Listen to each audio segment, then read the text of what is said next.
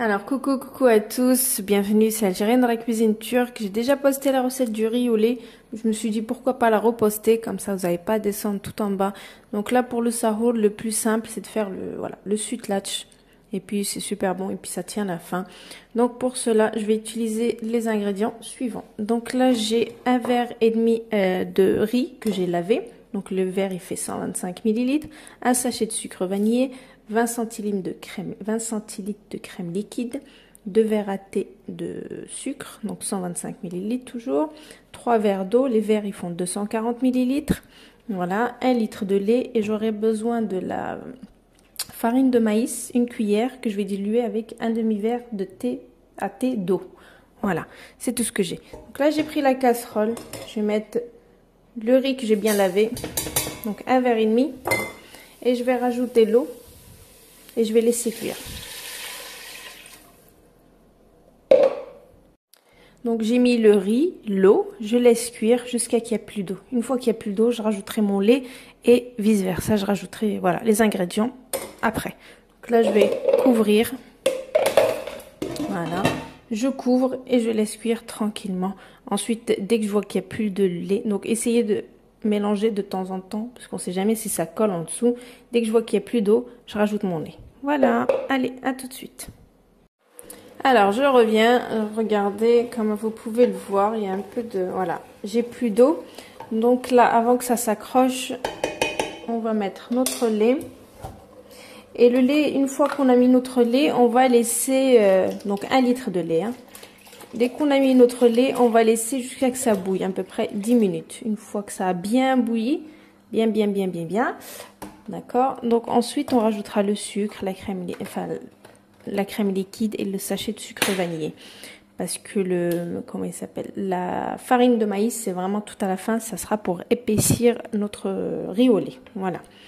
Donc regardez, donc là, pareil, n'oubliez pas de, voilà, de, de tourner, donc... Euh, de temps en temps pour pas que ça s'accroche. Donc faut bien mélanger de temps en temps. Je dis pas voilà, vous restez pas comme ça, mais voilà, une minute par-ci, une minute par-là, pour pas que ça s'accroche. Donc là, c'est bon, je vais attendre que ça bouille. Alors, comme vous pouvez le voir, regardez, ça bouille bien comme il faut. Donc à ce moment-là, je rajoute mon sucre. Donc le verre, il fait 125 ml, donc deux verres. Ça dépend le goût. Après, si vous voulez plus ou si vous voulez moins, ça dépendra de chacun. Donc je mets deux verres, moi. Un sachet de sucre vanillé. Et je vais mettre 20 centilitres de crème liquide. Donc celle-là, 30%. Je mélange un petit peu, je laisse 5 minutes et ensuite je mettrai euh, donc ma farine de maïs. Donc diluée bien sûr dans un demi-verre d'eau, enfin de eau. Donc le verre il fait 125 toujours. Hein. Voilà, je vais mélanger un petit peu et je laisse 5 minutes. Il me restera plus que la farine de maïs à rajouter. Et puis après, je mettrai dans les ramequins.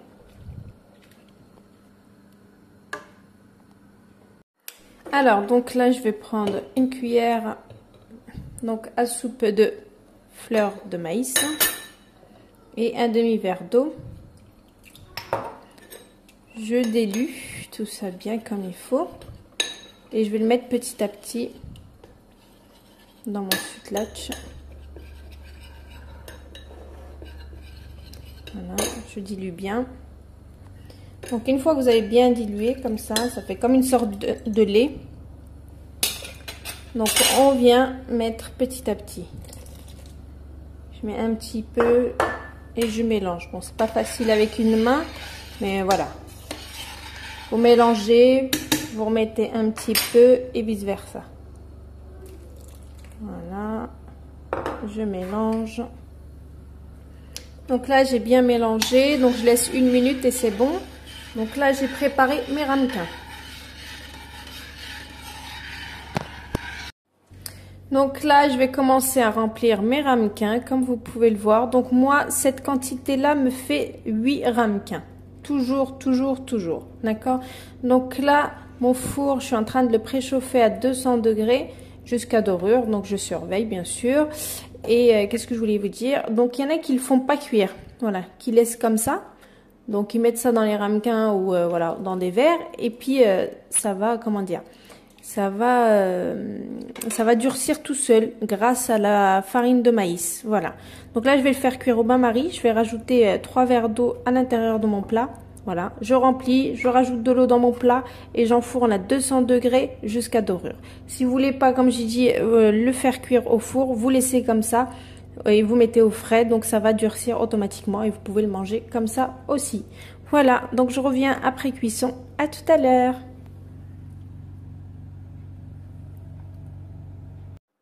Alors, comme vous pouvez le voir, c'est prêt, donc ça prend pas beaucoup de temps, 15-20 minutes, ouais, 20 minutes on va dire à 200 degrés, c'est prêt. Après, ça dépend la dorure que vous souhaitez. Si vous voulez plus doré, vous laissez un peu plus. Moi, dans ma famille, on aime bien comme ça, donc c'est pour ça, une légère dorure, ça suffit largement. Donc je laisse comme ça refroidir bien comme il faut et ensuite je mets ça au frais parce que ça se déguste frais. Voilà, donc je vous souhaite une bonne réalisation et je vous dis à bientôt pour une nouvelle recette. C'était Algérien dans la cuisine turque. Ciao